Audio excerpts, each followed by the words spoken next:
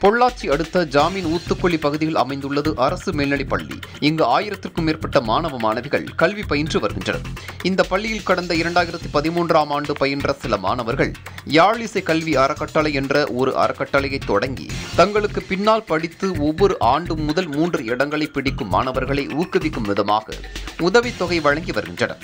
இரண்டாயிரத்தி பதினெட்டாம் ஆண்டு இந்த யாழ் அறக்கட்டளையில் முன்னாள் மாணவர்களின் எண்ணிக்கை எண்பதாக அதிகரித்த நிலையில் ஒரு படி மேலே சென்று பொள்ளாச்சி பகுதியில் படிப்பிற்கு பணம் தடையாக இருக்கும் மாணவர்களை தேர்ந்தெடுத்து கல்லூரி படிப்பிற்கு செலவாகும் தொகையில் பாதி தொகையை வழங்கி வருகின்றனர்.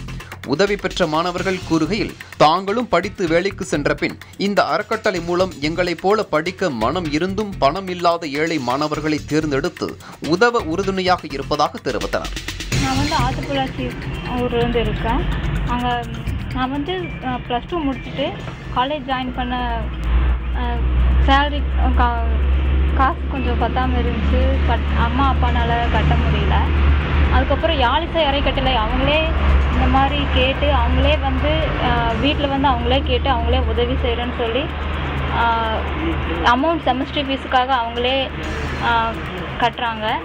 இதனால இதுக்கப்புறம் நான் வேலைக்கு போய் படித்து முடித்து வேலைக்கு போய் அவங்களுக்கு அவங்க கூட ஜாயின் பண்ணி என்ன என்ன மாதிரி படிக்காமல் இருக்க இருக்க எல்லாத்துக்கும் ஹெல்ப் பண்ணணும்னு நினைக்கிறேன்